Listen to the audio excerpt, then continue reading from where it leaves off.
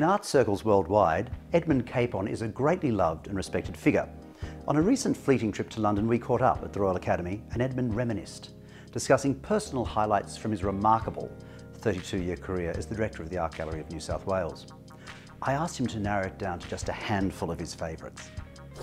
Two I particularly remember. The first was Orientalism, which was, I think, in the sort of mid 90s or thereabouts, because it was a theme that nobody had tackled really.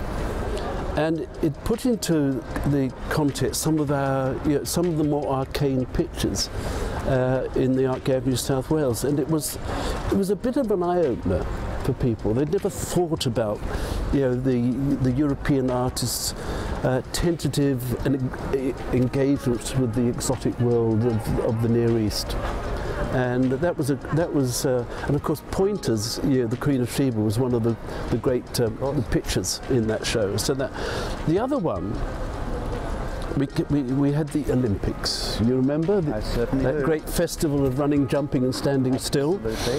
And we had to do a, a show, and I thought, well, I've got to do a show about the human figure. And I, I, cast my mind back to an exhibition that Michael Craig Martin did at the Whitechapel called Drawing the Line. Uh, must have been, it was it was an amazing show about artists drawing and, and, I remember seeing, for example, a Barnett Newman drawing next to a Leonardo drawing. And I thought, this is understanding about artists using line. And I thought, let's do, I'm going to borrow that idea and do it drawing the figure.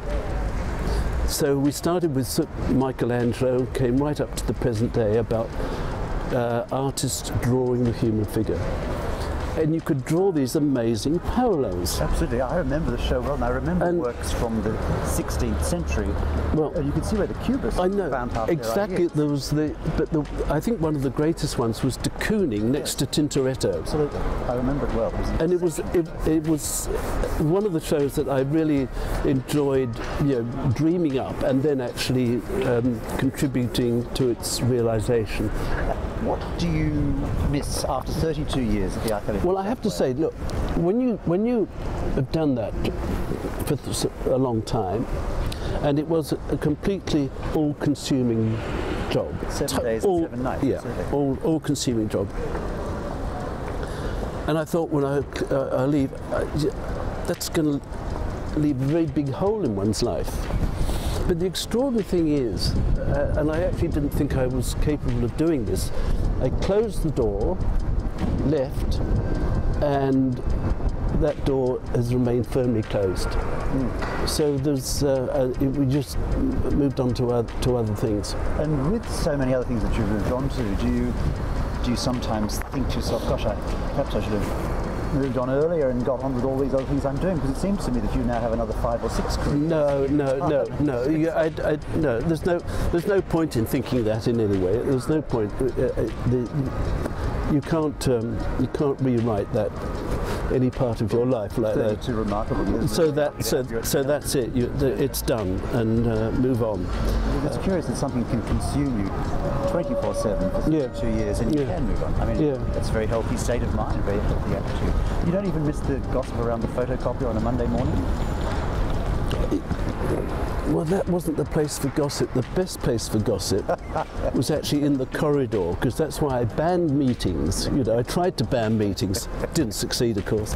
So thank you very much, and congratulations. Thanks. Thank you, Justin. What's happened since? and uh, thank you for 32 wonderful years. And know, 32 more years' time, when you hit 85 years old, you'll have lots more stories That's, to tell us. Yes, I'll, I'll, I'll, have lots more stories to tell you long before then, because I have every intention of getting up to as much mischief as I possibly can. Well, call me if you need a, a, a, a wingman. Thanks, Edmund. Thank you, Justin.